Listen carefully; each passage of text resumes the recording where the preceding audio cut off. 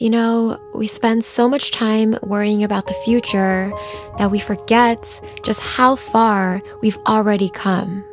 So celebrate your growth. You're doing amazing.